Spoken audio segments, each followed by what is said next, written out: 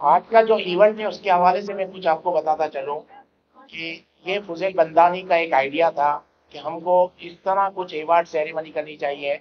जिसमें हम अपनी मेहनत जमातें जितनी भी हैं और छत के नीचे अलहमदुल्ला थर्टी हैं पूरे पाकिस्तान में। और आज जगह खुशी की बात है सत्तर से कुछ लोग आए हैं और हैदराबाद से लोग कराची से तो इन जमातों का हमारा मकसद था अवार्ड देने का। वो इस तरह था कि आपको पता है कि हमारे यहाँ अवार्ड सेरेमनी ज़्यादातर इस तरह होती है कि जो स्पॉन्सर होते हैं उन्हीं को अवार्ड दिया जाता है लेकिन इस बार हमने इस तरह किया था कि जितनी हमारी जमातें छोटी बड़ी सब जमात यानी एक ही सोच के साथ हर जमात से चार लोगों को हम अवार्ड देंगे। और मुझे लगता है ये काफ़ी अच्छी सोच के साथ ने ये काम किया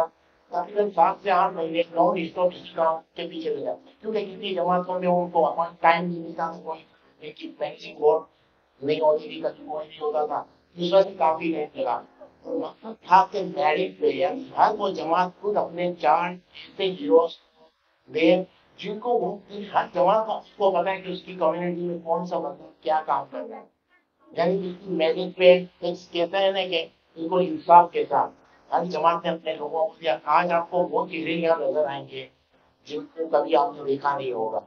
और मीडिया के ज़रिए वो इतने हाईलाइट होंगे कि मुझे लगता है कि इंटरनेट कम्युनिटी को भी मुझे लगता है काफ़ी अच्छा लगेगा जो बाहर मेहमान है क्योंकि जो बाहर पाकिस्तानी मेहमान है आप यकीन करें उनके दिल पाकिस्तान रखते हैं इसी तरह जो इंडिया के मेहमान बाहर है उनका दिल इंडिया के साथ रहता है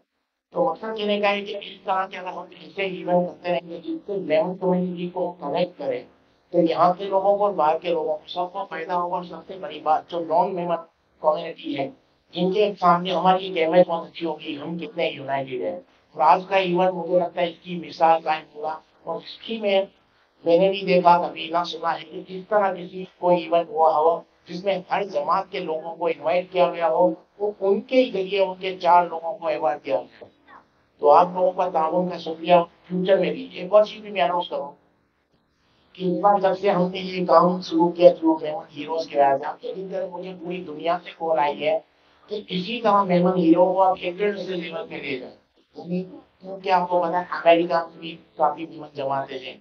यूए के अंदर सऊदी में अफ्रीका में लंदन में तो हमने सोचा इन फ्यूचर में हम लोग इसी तरह एक इंटरनेशनल लेवल भी करेंगे जिसमें पूरी दुनिया के मेहमान को अवार्ड देंगे और वो हम दुबई में करेंगे और इसी तरह फ्यूचर में भी आपको ताउन चाहिए और इसी तरह जिस तरह आप आ रहे हैं बारिश का मौसम जितने भी लोग आए हैं लेकिन आप सबका थैंक और इसी तरह हमको आपकी राहों की ज़रूरत पड़ेगी थैंक यू सो मच